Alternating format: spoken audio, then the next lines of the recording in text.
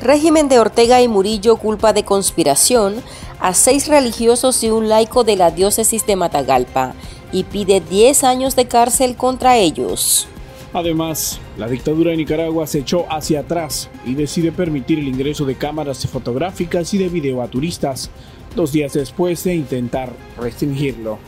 Y en otras noticias, París acoge una exposición dedicada al arte robado durante el nazismo. Les traemos los detalles. Bienvenidos al podcast ahora de Artículo 66. Les saluda Marlin Balmaceda. Y es Luis Villachica. Es un gusto saludarles. Iniciamos de inmediato con las principales noticias de este viernes 27 de enero del 2023. Después de cuatro días de juicio a puertas cerradas, el jueves 26 de enero, el régimen de Nicaragua declaró culpables a tres sacerdotes, un diácono, dos seminaristas y un laico de la diócesis de Matagalpa, que estuvieron secuestrados por la policía junto a su obispo Rolando Álvarez en la curia episcopal de esa ciudad en agosto pasado. Los reos de conciencias condenados por la dictadura son los sacerdotes Ramiro Tijerino, José Luis Díaz y Sadiel Eugarrios, el diácono Raúl Antonio Vega, los seminaristas Melkin Centeno y Darwin Leiva y el camarógrafo Sergio Cárdenas, a quienes el régimen les imputó los supuestos delitos de conspiración para cometer menoscabo a la integridad nacional y propagación de noticias falsas. La encargada de condenarlos fue la jueza Nadia Camila Tardencilla, judicial sancionada por el Departamento de Estado de los Estados Unidos por ejecutar juicios falsos contra críticos de la dictadura. Para inculpar a los religiosos y laico, el fiscal sandinista Manuel Rugama hizo desfilar a unos 12 supuestos testigos. La lista la integraban fanáticos del régimen y policías. La lectura de sentencia está prevista para el próximo 3 de febrero. La Fiscalía pide contra los miembros de la Iglesia Católica 10 años de cárcel y 800 días de multa. Diversas voces calificaron la sentencia de injusta, cobarde y criminal. El padre Edwin Román, ex párroco de Masaya que se encuentra en el exilio, expresó en sus redes sociales que indigna tanta arbitrariedad de la dictadura en contra del obispo de Matagalpa, el monseñor Rolando Álvarez, de sus hermanos sacerdotes y laicos, encarcelados y otros exiliados, cuando lo que se hace en Nicaragua es cumplir con la misión de la Iglesia y acompañar al pueblo oprimido. El Centro Nicaragüense de Derechos Humanos CENIT indicó que es un atropello a los derechos humanos y las garantías del debido proceso y responsabilizó del fallo a Daniel Ortega y Rosario Murillo, de quienes dijo buscan sembrar el terror y demostrar quién tiene el poder con este veredicto. Por su parte, el colectivo de derechos humanos Nicaragua Nunca Más considera que esto simboliza la guerra del Estado de Nicaragua contra la libertad religiosa, en particular contra la Iglesia Católica. Escuchemos al defensor de derechos humanos, Yader Valdivia. Las detenciones, comenzando desde las detenciones de estas personas quienes pasaron bajo asedio policial en la curia de Matagalpa, como su arresto arbitrario de mediante un operativo nocturno de la Policía Nacional hasta el día de ayer que se concluye con la criminalización y judicialización de estas personas bajo leyes, leyes que han sido totalmente arbitrarias para perseguir a personas opositoras o personas eh, disidentes en Nicaragua. Y en este caso es la ley de ciberdelito, donde se les acusa a estas personas de propagación de noticias falsas y también de cometer actos que menoscaban a la integridad de Nicaragua. Cabe mencionar que estas leyes no existe desde la creación hasta el día de hoy una sola persona de que haya podido demostrar una inocencia ante, un, ante, ante una instancia judicial y que haya sido acusada por, estas leyes. Por lo tanto, dejan en total indefensión a las personas que son criminalizadas con estos juicios políticos que ya vienen con sentencia desde el momento de tu arresto. Los turistas sí podrán ingresar al país con cámaras fotográficas o de video, afirmó la vocera gubernamental Rosario Murillo, tras la lluvia de críticas que recibió el régimen de Nicaragua al restringir el ingreso de estos equipos a los viajeros. Esta semana se hizo pública la nueva normativa del régimen, que prohibía a los turistas el uso de estos dispositivos, así como binoculares de visión nocturna. Periodistas, artistas y activistas catalogaron esta medida como un rompimiento a la Constitución. Otros coincidieron en que esta acción perseguía ocultar ante el mundo las constantes violaciones a los derechos humanos que se ejecutan en el país. Dos días después de publicarse la restricción, el régimen de Nicaragua se echó hacia atrás.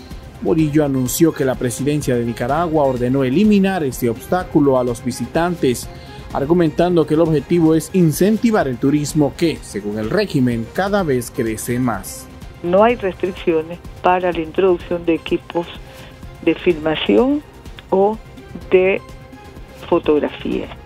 La Dirección General de Aduana, compañero Di Medrano, estará haciendo circular el comunicado respectivo. El periodista mexicano Otoniel Martínez de TV Azteca, quien visitó Nicaragua el año pasado y logró grabar un reportaje sobre el país de manera clandestina, manifestó que la dictadura Ortega Murillo es un chiste mal contado. El productor del reportaje Duele respirar Nicaragua y que definió a la Nicaragua de Ortega como país fachada, ya había señalado que la nueva restricción era ridícula esto expresó el día de hoy luego que la pareja dictatorial reculó. La dictadura de Daniel Ortega y Rosario Murillo es un chiste mal contado que no da risa. Primero dijeron que los turistas no podían ingresar a Nicaragua ni con binoculares, ni con cámaras, ni fotográficas, ni para grabar. Pero ahora ya se echaron para atrás, no lo digo yo, lo dijo la propia Rosario Murillo en su discurso del día de hoy. El comandante ya giró una orden para eliminar esta medida. ¿Y por qué será? Si era ridículo. Ahora quiero leer a todos los simpatizantes de esa dictadura que siguen defendiendo lo indefendible. Quedaron una vez más en ridículo. ¿O no? 25 años después del consenso de Washington que ayudó a devolver a los judíos obra de artes expoliadas por los nazis, la casa de subastas Christie's expone Ley Normal de los Errores, el artista Rafael Denis, una metamorfosis de los cuadros robados durante el Tercer Reich. El trabajo se centra en una forma inédita de la historia del arte, debido a esa pesadilla que pasa a dar demasiada penumbra y que parte de imágenes y de detalles de todas las formas que fueron expoliadas a los judíos en Francia, explicó a la agencia de noticias EFE el artista parisino. La idea era hacer resurgir las obras del pasado, dotarlas de algo palpable, cuenta el artista, que comenzó su trabajo en el año 2014. Denis relata que se presenta como un muro de estelas destinado a honrar la memoria de los perseguidos durante el Holocausto, que intenta encarnar en estas obras a los coleccionistas y marchantes de arte que las poseyeron.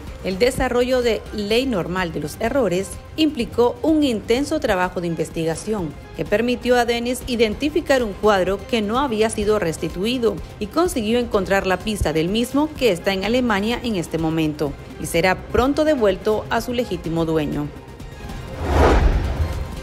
Y estas son otras noticias que usted también debería saber hoy. El gobierno de Francia lamentó la falta de transparencia del juicio político que enfrentaron las ciudadanas franco-nicaragüenses Giannini Horbelior Cuadra de 63 años y su hija Ana Álvarez Horbelior de 43 años, a quienes la justicia orteguista declaró culpables por los supuestos delitos de conspiración para cometer menoscabo a la integridad nacional y propagación de noticias falsas. La portavoz de la Cancillería francesa lamentó el hermetismo de las autoridades nicaragüenses, que pese a las reiteradas demandas no permitieron que el embajador de París en Managua accediera al juicio. Asimismo, reiteró que siguen muy preocupados por las condiciones de encarcelamiento y el estado de salud de sus compatriotas.